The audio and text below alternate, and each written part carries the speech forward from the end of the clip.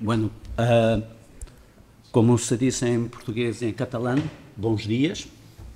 Es la misma cosa. Uh, buenos días a todos.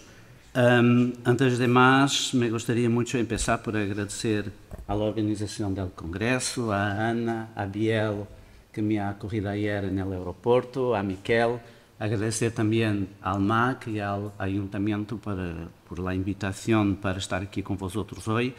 Y quizás, sobre todo, agradecer la amabilidad y la simpatía con, con que siempre me han recibido vosotros. Muchas, muchas gracias a todos y, y, y, bueno, es eso. Y yo voy a pedir excusas también uh, por leer mi comunicación, pero creo que son buenas excusas. La primera es para controlar mejor mi tiempo y la segunda es porque hablar de improviso en una lengua que no es la mía, es este raro idioma que es el portuñol, um, é sempre um pouquinho mais complicado. Por isso, com vossa permissão, vou ler minha comunicação e nessa comunicação me gostaria então começar subrayando que a coincidência do término incertidumbre, incerteza em português, como está no título original em, em los resúmenes, o término incertidumbre em los títulos de nossas comunicações, a minha e a de Carlos, não são um acordo prévio ao que ambos hemos chegado, sino mais bem um reflexo da realidade a la que nos enfrentamos, uh, digamos, na parte mais galaico-portuguesa de nossa península. Por lo tanto, creio que é importante fazer uma breve revisão da investigação megalítica no sul de Portugal e, dentro deste marco, apresentar as ideias que han sido propostas para explicar os orígenes do megalitismo. Es en este punto que cabe discutir también la cuestión del llamado protomegalitismo. De esta descripción de la investigación trataré al final de intentar extraer dos o tres conclusiones que creo ilustran su estado actual de la investigación, a pesar de las limitaciones y de lagunas de nuestros conocimientos, es decir, las famosas incertidumbres. Uh, okay. Empecemos, pois, por los orígenes de los estudos megalíticos em Portugal. Podemos identificar uma fase pré-científica no século de las luzes, quando aparecem os primeiros esforços de inventário e interpretação de los dómenes. Um documento notável é o chamado Alvará de Lei, é decir, uma carta de leis, emitida por el rei português João V, Dom João V, em 1721, en la que ordenou que se hiciera um inventário de los edificios antiguos de todo el reino, además de prever medidas punitivas para quienes los destruíran. Este esforço de inventário, que ha sido levado a cabo por los párrocos, se sabe que deu lugar a um documento manuscrito onde se inventariavam 315 antas, que, como sabeis, é o término português para dolmen. Uh, desgraciadamente, este inventário, cuja consulta seria hoje, como lo imagino, uh, sumamente interessante, se perdeu no terremoto de Lisboa de 1755. Nesta etapa, temos também uma primeira discussão sobre o significado destes edifícios, que são então considerados, como no resto da Europa, como uh, antigos altares paganos. O primeiro estudo de hecho científico, sin embargo, se deve a Pereira da Costa, um dos fundadores da arqueologia pré-histórica em Portugal, que escreveu a primeira monografia sobre o tema em 1868, uma monografia bilingue em português e francês. Me parece interessante subrayar que escreveu antes da introdução do término neolítico em la língua portuguesa, Uh, su marco interpretativo seguia sendo o sistema de las três idades de Christian Thompson. Recordemos-nos que o término original, neolítico, havia sido acunhado por John Lubbock solo três anos antes. E nesses tempos não tínhamos internet, nem e-mail, nem PDFs. Um, este autor, Pereira da Costa, aborda a função destes monumentos, que considera de caráter funerário, em linha com o que já se havia acceptado no resto da Europa. Realiza também um inventário, esta vez contando só algumas dezenas de monumentos, para no qual as províncias de Beira Alta e Alentejo aparecem já como hoje como as principais regiões megalíticas em Portugal. Pereira da Costa ya habla del origen de los megalitos e considera três possibilidades, mais ou menos, as que hoje seguimos debatendo, sem optar por nenhuma de elas. Esta parte não está muito desarrollada em sua obra, la encontramos solo em um parágrafo na página 55. Pero as três possibilidades são as seguintes. A primeira é a possibilidade de invenção independente, quando disse que este fenómeno poderia dever-se às mesmas ideias inventivas. A segunda é através de contactos entre pueblos diferentes que receberam uns de outros a prática de tales construções. E por último, considera a migração, é decir, um mesmo pueblo peregrinando em massa, são suas palavras. Hacia finales del siglo XIX, assistimos a um aumento do número de yacimentos uh, reconhecidos, incluso em outras regiões, e a sua publicação. Duas figuras marcam o estado del arte em Portugal nesta época. Leite de Vasconcelos, que reconheceu a presença de arte megalítico em los dólmenes de Beira Alta la década de 90 do século XIX, e Emil Cartaillac. Ambos autores apontam explicações sobre o surgimento do megalitismo, pero se mantém a incertidumbre. Vasconcelos afirma que os arqueólogos dudam se este fenómeno cultural se deve a diferentes pueblos a um, ou a um solo pero afirma que lhe parece menos provável esta última possibilidade.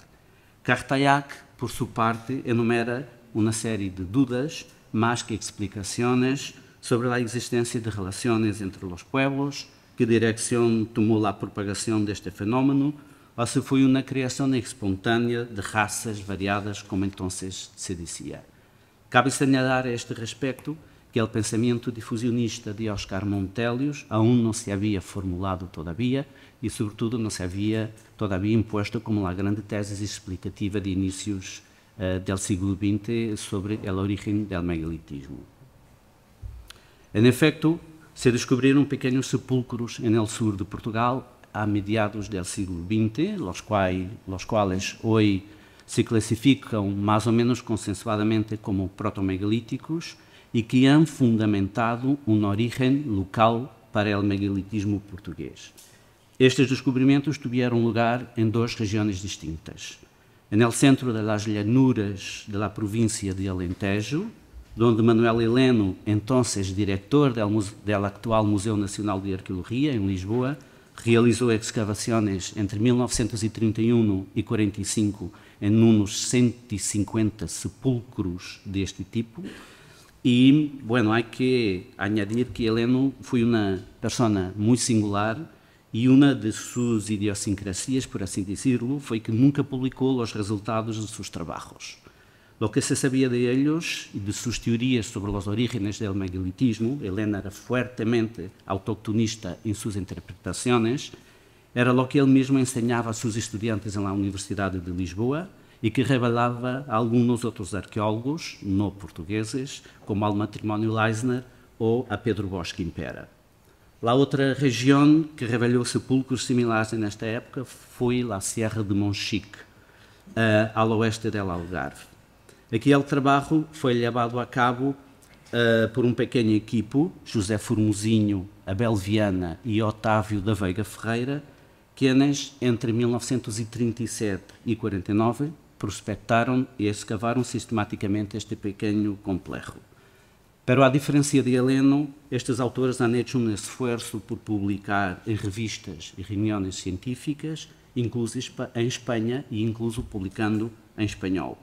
A base cartográfica que utiliza neste mapa, que ha sido publicada por El Matrimónio Leisner em 1956, constitui já um rigoroso estado de la questão a mediados do século XX e inclui já as numerosas pequenas tumbas escavadas por Heleno e por el equipo de Monchique. Nesta diapositiva, ou esta diapositiva, mostra alguns exemplos de las pequenas sepulturas en el Alentejo. São fotografias tomadas por Heleno e los arruares dibujados por los Leisner.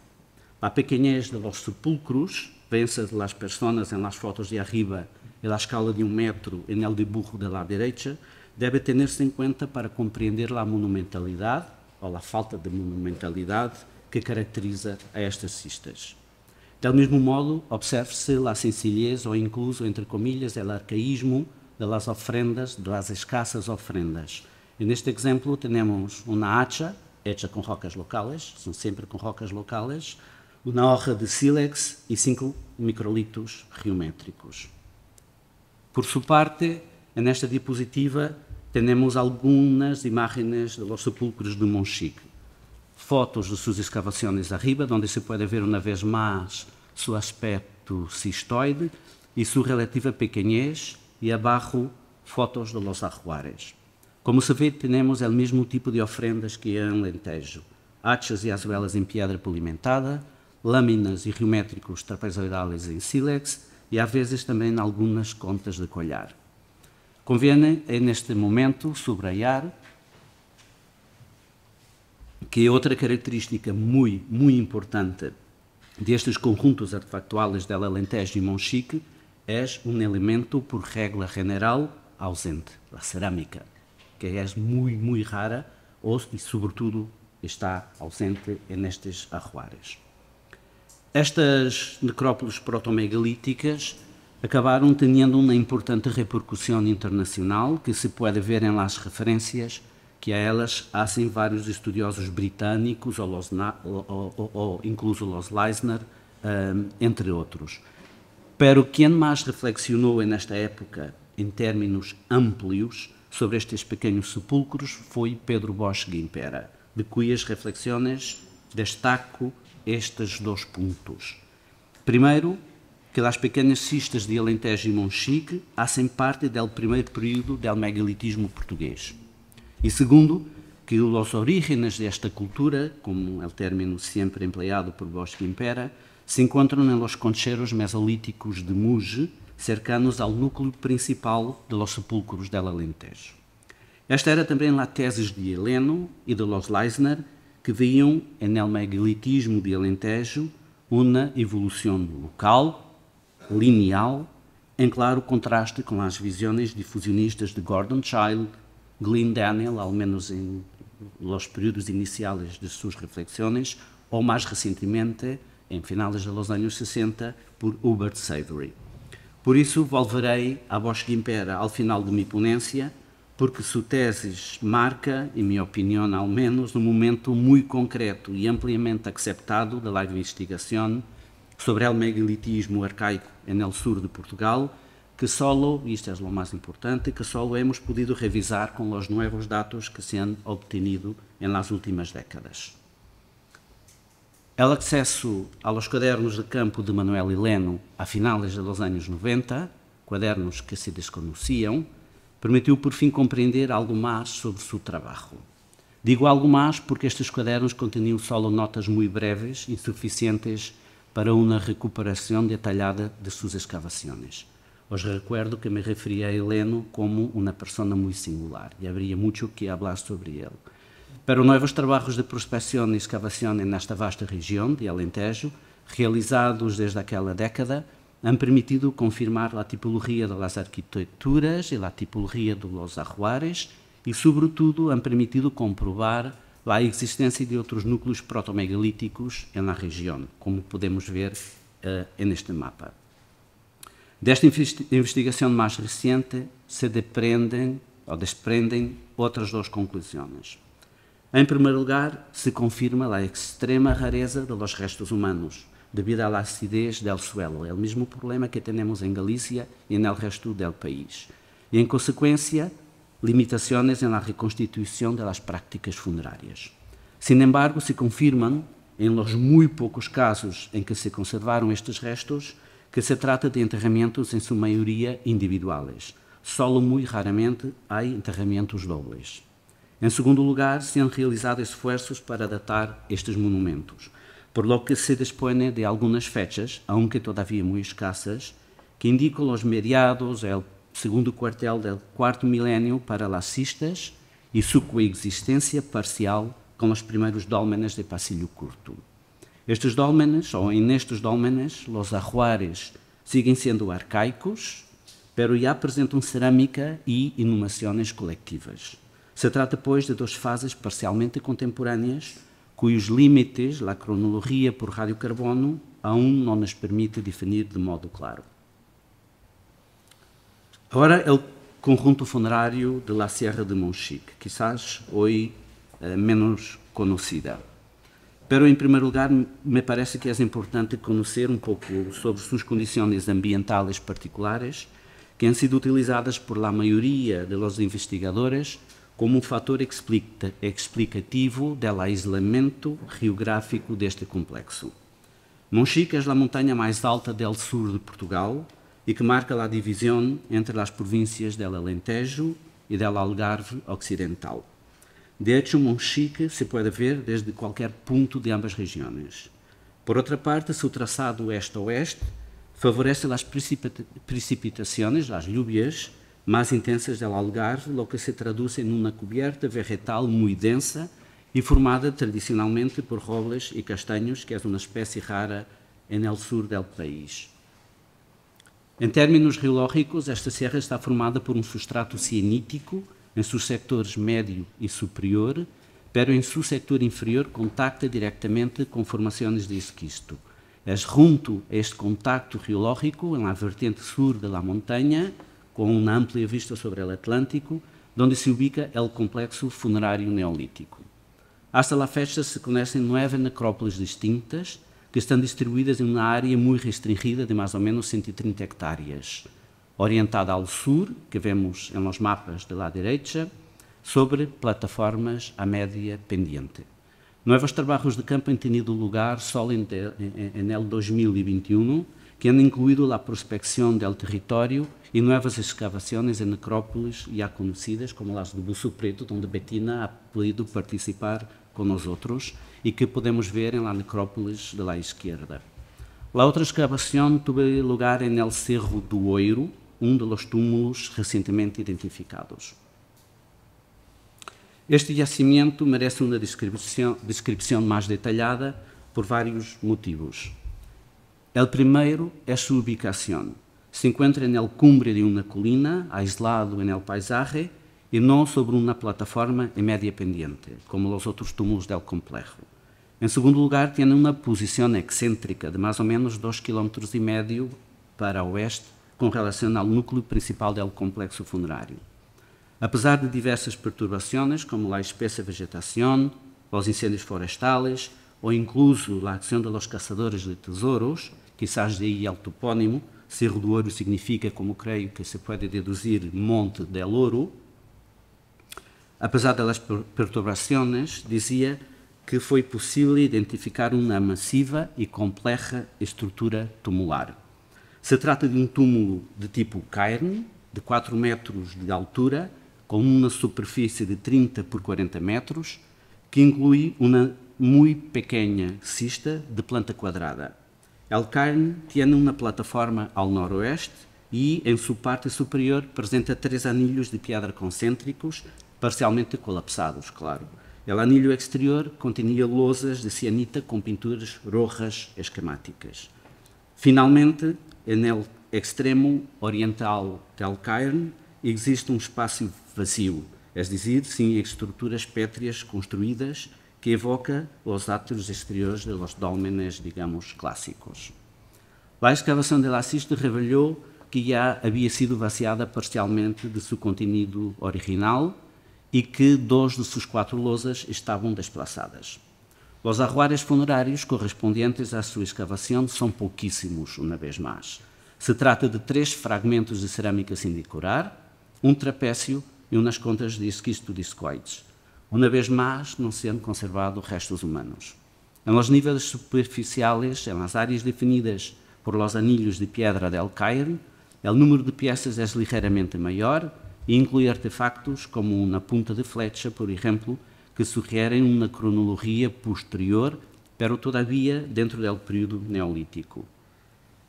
A conclusão interessante, em minha opinião, sobre Cerro do Oiro é que sua biografia contrasta com o que conhecemos no resto do complexo funerário de Monchique e incluso de Alentejo. Se trata de uma cista isolada, para inumação individual, pero inserta em um túmulo pétreo de grandes dimensões e arquitetonicamente muito elaborado. El análisis de la distribución espacial y estratigráfica de los ajuares permite, sin embargo, concebir uma larga biografia em duas fases, cuja síntese se encontra na tabla de la derecha, que começa, quizás, em inícios do quarto milénio, digo quizás porque não hemos podido fechar por radiocarbono este yacimento, que começa, quizás, inícios do quarto milénio, como dizia, com uma pequena cista protomegalítica inicial, pero que se convierte no transcurso do tempo em um túmulo templo monumental já em finais do mesmo milénio. Este processo arquitetónico de monumentalização reflexa provavelmente uma origem do fenómeno e um processo social posterior de hierarquização, ambos de bases local. Sin embargo, esta é uma conclusão basada em um único yacimento que, de momento, não se pode comprovar de modo independente nem generalizar ao restante território de Algarve e incluso de Alentejo, por falta de paralelos similares. Pero, como dije al principio, me gustaría extrair algunas conclusiones de otra escala sobre los orígenes del megalitismo en el sur de Portugal, que se derivam de la comparación entre, por um lado, as interpretações de mediados do século XX e, por outro, o estado atual da investigação. A primeira conclusão importante, em minha opinião, é que não há um passo direto do mesolítico ao megalitismo. E saco esta conclusão porque, todavia, há autores, portugueses e britânicos ao menos, que defendem ou seguem defendendo esta visão para o território português. De hecho, um artigo fundamental nos estudos neolíticos em Portugal foi publicado em 1970 por Veiga Ferreira, que formava parte da equipe de Monchique, e nosso companheiro Jean Guillain. Neste artículo, que é, digamos, fundacional, se pudo definir pela primeira vez em Portugal uma etapa intermédia, que é o Neolítico Antigo de cerâmicas impressas e incisas, anterior aos primeiros sepulcros de pedra. A fecha de hoje disponemos de estratigrafias e datações de radiocarbono que demonstram de forma independente esta proposta. Segundo os dados atuais, o Neolítico Antigo se remonta a mediados do sexto milénio, como de um modo general na restante península, é contemporâneo do Mesolítico durante 500 anos, e isso é um aspecto crucial, se prolonga durante todo o quinto milénio e termina, por convenção, quando aparecem as cistas protomegalíticas e os primeiros dólmenes de passilho curto ao redor de inícios do quarto milénio. Sin embargo, uma evidência empírica comum nesta diacronia é uma clara continuidade na prática de inumações individuais ou dobles. De hecho, esta prática é recorrente nos concheiros mesolíticos del Tarro, como se pode ver nesta fotografia de 1880 de las escavações de cabeça de Arruda, que é um dos concheiros de Muge. Esta prática se encontra nas cuevas e fossas do Neolítico Antigo, como lá conhecida Cueva de Caldeirão, ou, neste caso, de Palácio Ludovice, no centro da cidade de Lisboa, e depois também, como hemos visto, em las cistas protomegalíticas. Os enterramentos coletivos empiezam com os dólmenes de passilho mais antigos, que, como vimos em uma diapositiva anterior, são parcialmente coetâneos das cistas. É só neste momento, em inícios do quarto milénio, que ocorre esse câmbio nas práticas funerárias. Na genética das, das populações implicadas, vemos também um quadro diacrónico não lineal. Vários estudos publicados recentemente indicam a existência de uma persistência genética de origem mesolítico em los construtores de megalitos. Segundo uma hipótese desarrollada, bueno, por mim mesmo e por colegas de paleogenética e arqueologia, os dados genéticos hoje disponíveis para as populações tardo-mesolíticas e neolíticas antiguas, assim como para os primeiros construtores de megalitos, nos permitem proponer o seguinte modelo em três etapas para o oeste peninsular. Em primeiro lugar, se observa que as populações mesolíticas locais constituíam um fundo genético altamente homogéneo, visível sobretudo no domínio de los subaplogrupos U5. Depois, os primeiros grupos neolíticos não só introduzem novos haplogrupos, tanto mitocondriales como del cromosoma Y, como mostram também eventos de mescla com mesolíticos que han tenido lugar em outras regiões da península durante seu processo migratório. Isto ha sido identificado em dois indivíduos neolíticos da La Cueva de Caldeirão, fechados de mediados do sexto milénio, é dizer, coetâneos a los concheiros de Muges, que mostram cerca de 30 a 40% de ancestralidade mesolítica peninsular. E, finalmente, os construtores de megalitos mostram uma ancestralidade comum, mesolítica e neolítica, devido, nos parece razonável pensar deste modo, a processos prévios de mescla e aculturação durante o Neolítico Antigo. Este modelo, se se confirma no futuro, leva a uma doble conclusão com respeito aos orígenes do megalitismo arcaico, tal como expostos na síntese de Bosch Gimpera, cujo pensamento, como he dicho mais arriba, creio que marcou decisivamente uma época em la investigação peninsular anterior aos avanços mais recentes das últimas décadas em Portugal. Bosch Gimpera tinha razão ao sostener que os construtores de las cistas procediam de los concheiros mesolíticos de Muges, aunque solo, lo sabemos agora, desde um ponto de vista genético, não de um ponto de vista cultural. E não deu, Bosch Gimpera, a devida importância explicativa à sua própria cultura das cuevas, ou cultura central, como lhe chamou inicialmente, pois esta não foi uma penetração, como dizia, na cultura megalítica portuguesa, sino uma etapa intermédia decisiva neste processo desde o ponto de vista genético e cultural. Buenas solo e muitas gracias por esta atenção.